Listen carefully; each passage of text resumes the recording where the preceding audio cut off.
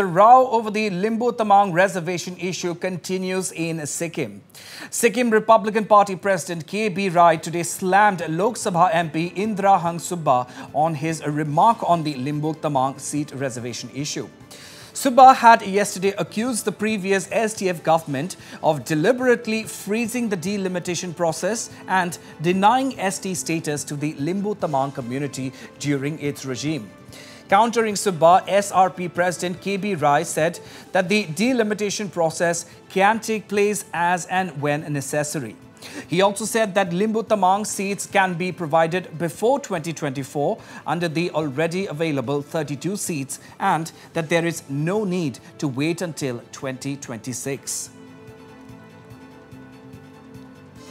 कल जो एमपी इंद्रांग सुब्बा ने जो थरपो में जो बयान दिया लिम्बू तमंग के सीट को लेकर, और मुख्यमंत्री ने भी उनकी बयान के ही समर्थन में बयान दिया। इसको लेकर आप लोग का पार्टी का क्या अड़ान है? अब देखिए सिक्किम का जो एक एमपी इंद्रांग सुब्बा जी है, वो उसने बहुत सारा लिम्बू तामंग के सीट के ऊपर जो बयान दिया, बिल्कुल इसमें कोई सत्य तथ्य नहीं है। और इसमें कोई पॉसिबिलिटी नहीं देख रहे हैं। सीट में लिम्बू तामंग को मिलने का। डिलिमिटेशन को बहाना बनाकर लिम्बू तामंग को वो मूर्ख बना रहा है। क्योंकि सिक्किम के लिए डिलिमिटेशन का कोई ज़रूरत नहीं है, क्योंकि वो बोल रहा है कि हम 32 के अंदर ही लिम्बू तामंग को सीट दिला सकते हैं, दे सकते हैं।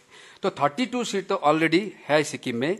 जिसको हम फिर डिमार्केशन करना नहीं पड़ेगा लिम्बू तामंग को देने के लिए। जहाँ पर जनसंख्या उनका उन लोग ज़्यादा है, उन लोग उस क्षेत्र को डिमार्केशन कर सकता है। और उसके लिए उसके लिए सबसे पहले representation of people amendment act 1980 जो सिक्किम में लागू हुआ है लागू है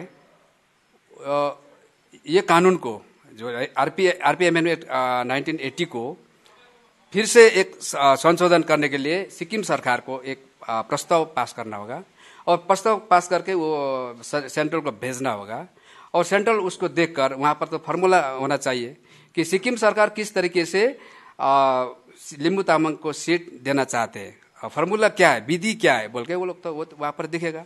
तो वो देखने के बाद अगर सिक्किम सरकार का फार्मूला सही है तो वो लोग केंद्र सरकार पार्लियामेंट में बिल लेके पास कर सकता है। उसके बाद representation of people amendment act 1980 फिर आ, फिर उसका दूसरा अमेंडमेंट वहाँ पर पास होगा एक्ट होगा।